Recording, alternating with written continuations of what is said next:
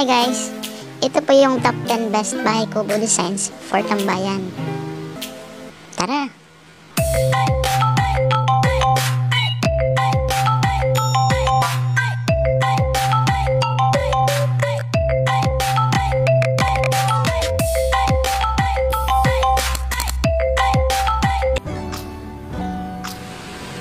Number 1 sa listahan. Estimated budget 10,000 pesos. Parang bahay lang to ah. Parang di ata to tambayan. So simple lang naman to. And then let's move sa number 2. Estimated budget niya 11,000 pesos. Hmm, simple lang din to. Amakan type. And then kawayan.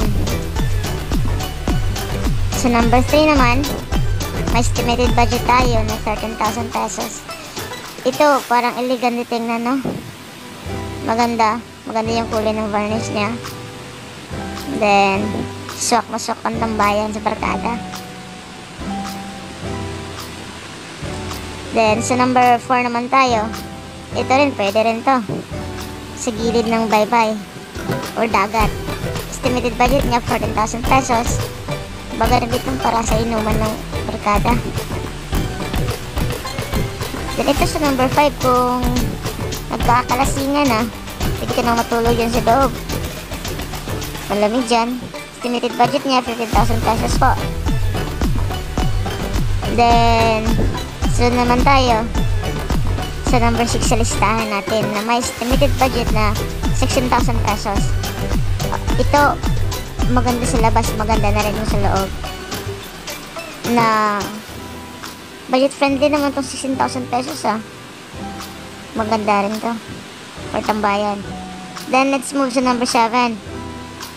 Ito parang maliit na bahay kubo na to ah. Hindi na pantambayan. Estimated budget niya 11,000 pesos. Sok na pa rin sa budget natin. Budget friendly pa rin siya. Then sa number 8 natin, ito napaka-elegante talaga. Estimated budget niya 20,000 pesos. Mga indigenous lang to ng mga materyales. Then, let's move sa number 9 na tayo. Ito po yung number 9. Estimated budget niya 25,000 pesos. Maganda na rin to. Pwede na to bahay. Pang pamilya na to. Maliitang pamilya lang. Diba? Then, sa panghuli natin sa, ay, number 9 to.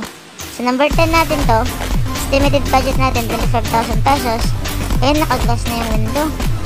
May parang ate din natin sa taas, oh. Tutulugan. Yun lang po. Thank you for watching.